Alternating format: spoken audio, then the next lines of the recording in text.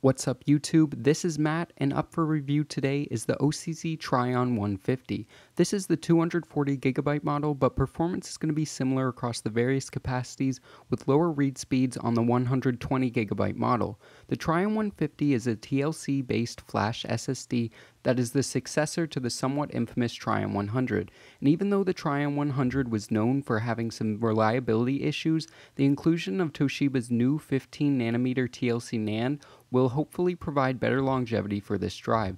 Taking a quick physical tour of the drive, we find a sandblasted aluminum casing with a white and blue OCZ label on the front, which is quite refreshing from the standard black SSDs, making this, in my opinion, one of the more aesthetically pleasing SSDs on the market.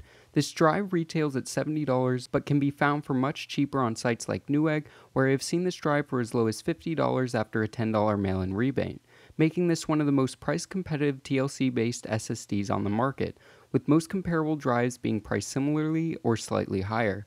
In terms of performance, OCZ states a max sequential read speed of 550 megabytes per second and a max sequential write of 520 megabytes per second. Over my testing of five runs through Crystal Diskmark, I found the drive to be consistently slightly over the advertised read with an average of 551.12 megabytes per second max read and a slightly below the advertised writes with a still impressive average max write of 504 megabytes per second.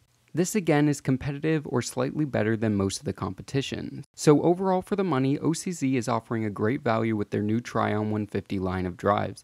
Though it is still yet to be seen whether this drive will be reliable in the long run, the other reviews I have seen have shown a much lower early failure rate than the Trion 100, making me believe that OCZ is back on the path to greatness. So conclusion time.